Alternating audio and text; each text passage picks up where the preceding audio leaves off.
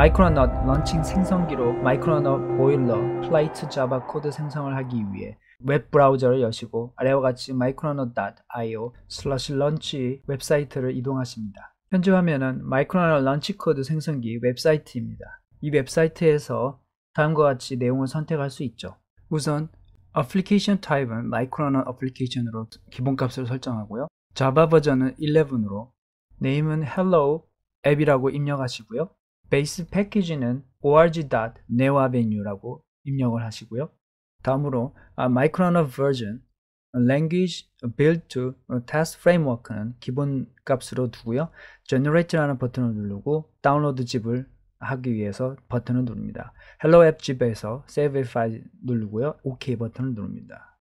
다음과 같이 안내 팝업 창은 유닉스 혹은 리눅스 맥 OX 플랫폼에서 세 가지 단계를 거쳐 해당 프로젝트를 실행시킬 수 있다는 안내 메시지입니다. hello app.zip 파일 위치를 알아내고자 Firefox 웹브라우저 다운로드 아이콘을 클릭하고 잠시 기다리시면 Extract File Management 창이 열리면서 동시에 Hello App 압축 폴더를 보실 겁니다.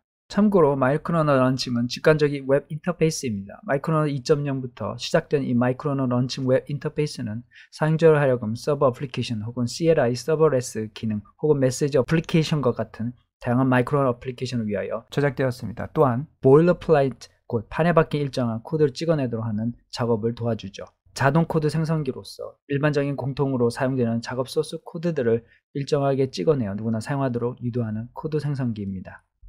터미널 창으로 돌아와 cd tilde forward slash Downloads 명령어를 던집니다. 그리고 다음과 같은 명령어로 압축 파일을 풀어보죠. unzip helloapp.zip -d helloapp 명령어를 던집니다. ls 명령을 통해서 helloapp 폴더가 생성되었는지 확인합니다. 최종적으로 helloapp 폴더 안에 있는 파일들을 확인하셨다면 이는 첫 단추를 잘 끼신 겁니다.